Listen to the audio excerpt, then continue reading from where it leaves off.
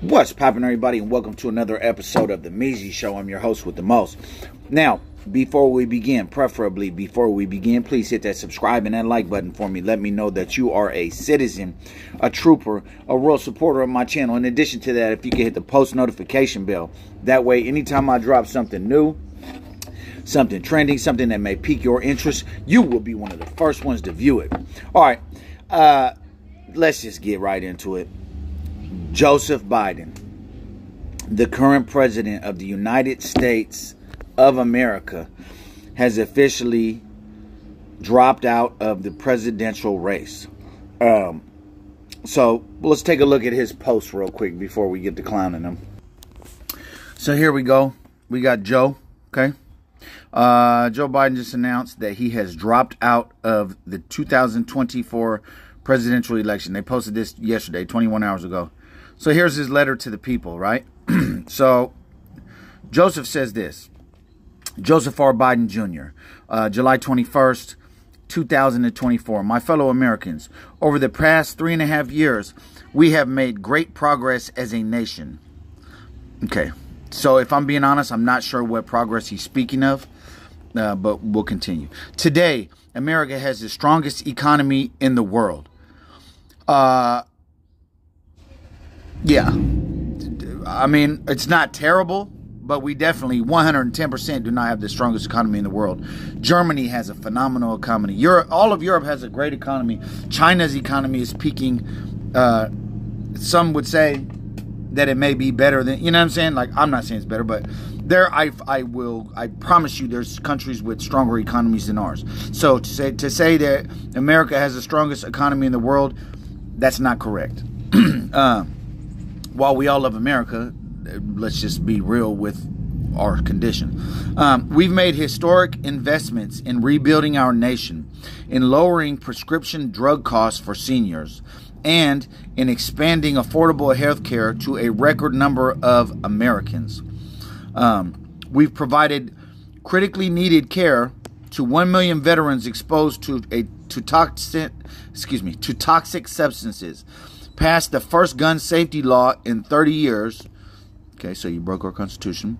Uh, appointed the first African American woman to the Supreme Court and passed the most significant climate legislation in the history of the world.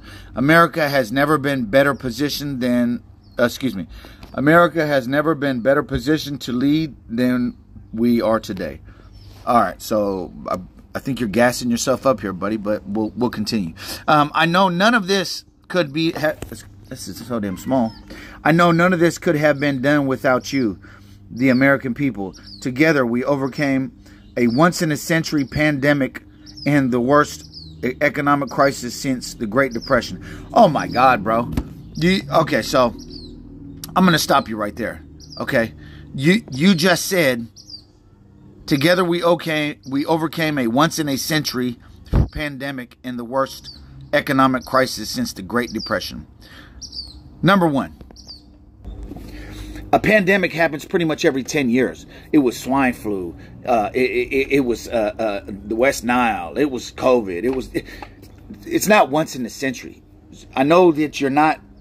You're a little bit of older gentleman, and maybe your cognitive features aren't like as clicking as fast as they once did, but don't say things that's not true. Okay. Number two, you said we overcame the worst. Uh, uh, uh, uh I don't want to. I don't want to miss misquote you. You said the worst economic crisis since the Great Depression, right? So first and foremost, the the the the recession we had with Obama was worse than this one. Okay, uh, and it happened under your leadership. This did not happen. You didn't come in and save the day. No, this was done on your watch. So if we overcame it, that just mean we were struggling. That don't mean that you came in. No, we was doing pretty smooth when you came in. If we're just being real, okay. But we'll continue the letter. Okay, so uh, let's see. Uh, since the Great Depression, um, which was a lie, uh, we've protected and preserved our democracy. And okay, so that right there by itself is not correct. I don't know too many people that want to give our money to Ukraine, but I know I'm not one of them. I mean, I'm sorry that they're going through what they're going through, but why do we have to give them that? But then you can't give anything to Hawaii, all the major fire survivors. You know what I'm saying? But anyway, uh, and we revitalized and strengthened our alliances around the world. Well, they they know you're no threat, so they're just it's no big. They're not tripping. Um, it has been the greatest honor of my life. All 200 years uh, to serve as your president. And while it has been, oh, excuse me, this is so small. And while it has been my intention to seek reelection, I believe it is in the strong, in the best interest of my party and the country for me to stand down and to focus solely on fulfilling my duties as president for the remainder of my term. so you're very old and you might not survive what you have left let alone another four years. And you're already losing your marbles. Um, I will speak to the nation later this week in more detail about my decision. For now, let me express my deepest gratitude to all those who have worked so hard to see me reelected. So, I'm going to just be honest. Even the people who were once your fans, they're not your fans now. So, I don't think there's too many. And you probably didn't really stand like really a chance people would rather see a convicted felon, uh, you know, be president than you. Um, so, yeah. I want to thank Vice President Kamala Harris for being an extraordinary partner in all this work. Yeah, she probably had a big, big part in you stepping out too. She's trying to get president. And let me express my heartfelt appreciation to the American people for the faith and trust you have placed in me. I believe today what I always have that there is nothing Americans can't do. I mean, you're absolutely right. We got a president that's about 150 years old, and that's unheard of. So I guess I guess we can. Um, when we do it together, uh, we just have to remember we are the United States of America. Okay, so let's uh let's check out the comments. let's check out the comments, man. Uh, bro's gonna wake up tomorrow and forget he dropped out at all. Facts. uh, for real, real, real. Nice PFP. You too. Yeah. Yeah, you too. Ha ha ha. You're something. Ha ha ha. Nice. We will have a patch on his ear when he wakes. up. Will he have a patch on his ear when he wakes up? Horrible. I just thought the same. Damn. Hee hee hee. That's so true. Bro is just a meme, or he dropped out for real he dropped out. All the news outlets have been reporting, blah, blah, blah. Look, I swear there was better comments than that. I just looked at him.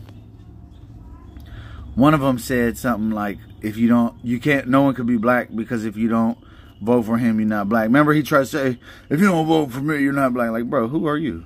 Like, you ain't nobody. oh, how, oh, here we go, here we go. Here's all the real ones. Finally, now he can focus on his upcoming album, The Presidential Dropout. no, I was excited for his new album. How will Kendrick Lamar react to this? How does this affect LeBron's legacy? Uh, album, album fitting to go crazy. Uh, my fellow Americans, I think we all know where this is going, so let's just skip to the end. Yeah, everybody's just basically clowning him. It's Drizzy, great progress. Yeah, well, go with that, Joe. So pretty nothing is really too positive in all of his um, comments. The electoral dropout comments. okay, so let's get to it. All right, so let's just go ahead and get to the meat and potatoes of this all. Um, Joseph,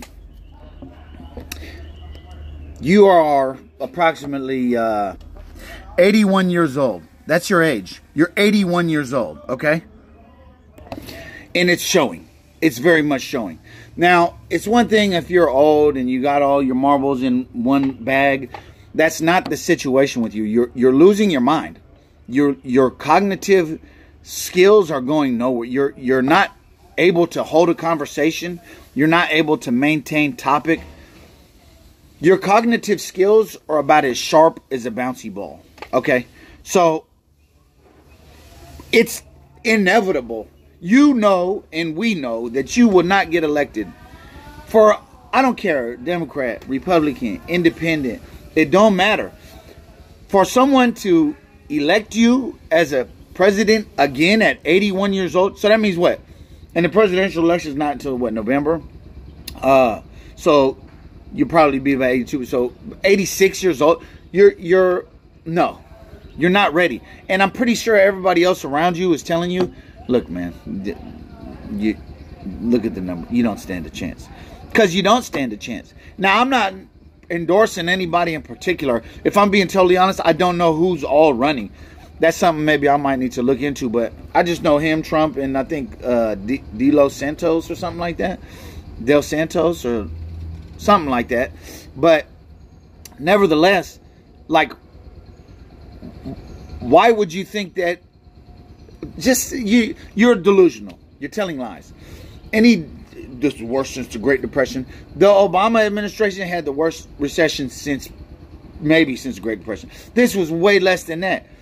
Um, and if it was, it was under your watch. You didn't come into it as much as maybe you know saying we don't like Trump, we don't like his personality. He was great with the economy. You know what I'm saying? And, and I'm gonna speak the truth as far as that goes this thing going crazy. I'm gonna speak as far as that goes. I'm gonna say he was great with the economy. He was great with the economy. He he didn't he didn't he he's very one thing I can say about him. He's sharp. He gets things done. He doesn't. He tells you what he's gonna do. He doesn't care. And he was great with the economy. You you you taught you basically. If I'm being real, you exploited black people. You made it seem like you're so pro, you're this so black. I'm so pro black, and this and that you didn't do a damn thing for black people. What? You, so you you put in a, a black judge to a Supreme Court? What? She got to follow the same rules that the rest of those people are following. That doesn't change anything. You you that's my big that's I got a lot of gripes with you, Mr. Mr. Biden, but but that's for sure my my biggest gripe with you. One of my biggest gripes with you is that you just exploited black people to a degree where you made it seem like it was such a glitter of hope. And even in your once you got elected, you said the African American community has always had my back, and I'll always have yours, bro. You're way back, way, way, way back, because you ain't did nothing. You elected a black judge, great, fantastic, that's phenomenal. Okay, you didn't do nothing for the black community. You didn't uh, approach the leaders, like, I mean, as much as you pumped it up, I'll be honest. Bismillah I had very high hopes for you. My hopes for you were very high. As much as you pumped it up, I was sure that you were going to like gather all the black leaders together and um, you know, hey, listen, we need to make some changes. We need to improve the black community. We need to create jobs. We need to do this. We need to do that. You you gassed it up so much and nothing happened. Nothing happened. Nothing happened. You didn't do a damn thing. But you elected a black judge. Great.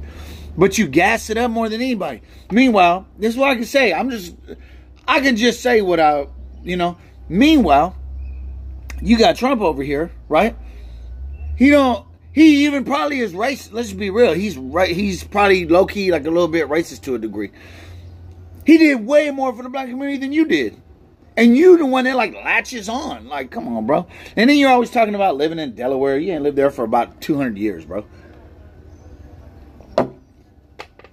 So, in closing, I'll say this. It's no surprise. You weren't going to get nobody's vote anyway because everybody knows you didn't do anything. Democrat, Democrat, Republican, Independent, everybody knows that you didn't do anything. You did nothing worth claiming or latching onto. You did nothing in that regard. So, yeah, you, you dropped out because you don't have a chance. You know what I'm saying? Yeah, that's it. This is the Meeze Show, and I stand by this message. Just like May said. Uh, yeah, man. That's it, man. You let me know what you think about it in the comments, man. I appreciate you guys for watching. If you have not already, please hit that subscribe and that like button for me. Salute. Y'all have a great afternoon. I'm gone.